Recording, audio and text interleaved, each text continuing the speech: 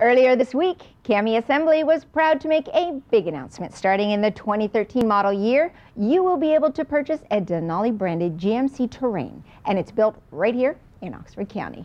What is a Denali Terrain, you might ask? Well, we went to our friends at Anderson's in Woodstock to see what makes a luxury line Denali a Denali. And considering that the upgraded Terrain is still in the future, we used GMC Acadia for demonstration purposes.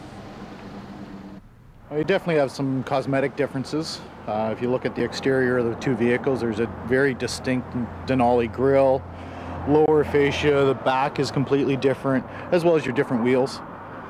And what would be the price difference on this vehicle?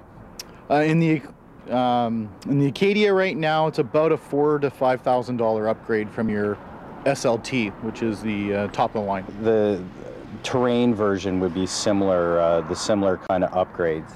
Oh, we would certainly would expect that, yes. And by uh, all indications on the pictures and everything that GM has released, they look very similar right now to the uh, Acadia um, Denali. And what does this say about CAMI to you? Well, it's fantastic. Anytime they give even more options, more brands to CAMI plan, it's better for everybody.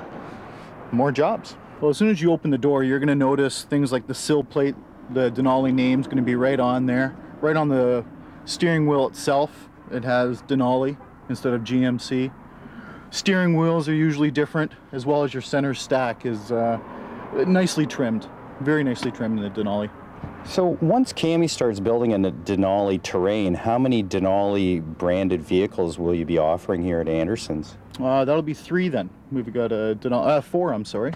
Four. A Yukon, a Sierra pickup truck.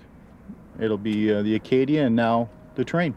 The hope is that about 10,000 Denali Terrains will be built at CAMI for the 2013 model year.